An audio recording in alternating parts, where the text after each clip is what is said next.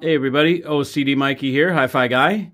And I just became aware of a pretty cool little piece that I think is great for many of you that are struggling to deal with the server hole pill that you got to swallow.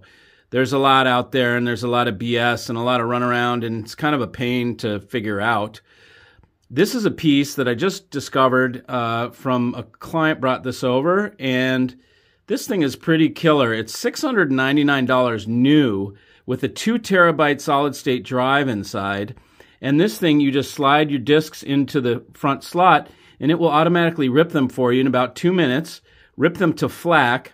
And look at this killer interface that shows you the, the titles. It will, it will file them for you and everything. Um, and it's Raspberry Pi. It's Raspberry Pi based. It's just a B2.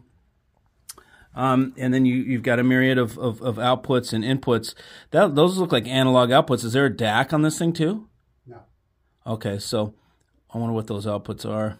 Oh, that's for, uh, it has a built-in amplifier if you want to just hook speakers up to it. Oh, you can put speakers to it. So it does have a DAC. Yeah, it's got a DAC and an amp? Yeah, yeah. okay. This thing has a DAC and an amp on it.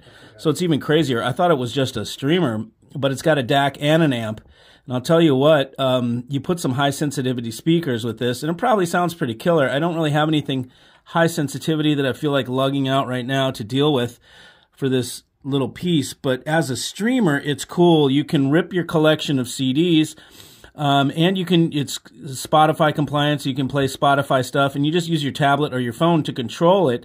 And this thing's pretty able-bodied for 699 bucks. So for anybody that really just is kind of, you know, not really so sure about the whole streaming thing, this is a great way to just get into it at an easy price and, you know, something that's not going to, uh, let me see if I can, yeah, I got to put, well, anyways, this is a great way for you to, to get into something at an easy price and, um, easy functionality where you could get your feet wet with the server thing and then and then go on. We're going to let it warm up a bit and see how it compares. So far, it's a little bit more uh, um, bright, I guess, on the top end than my server. Um, but we're using a wall wart power supply. And usually if you put a um, linear power supply with something like this, you're going to get a better sound. So we can I can only imagine that if we put a nice 24 volt uh, a linear power supply, low noise linear power supply, that we would get even better performance. Um, so anyways, just want to share that with you guys.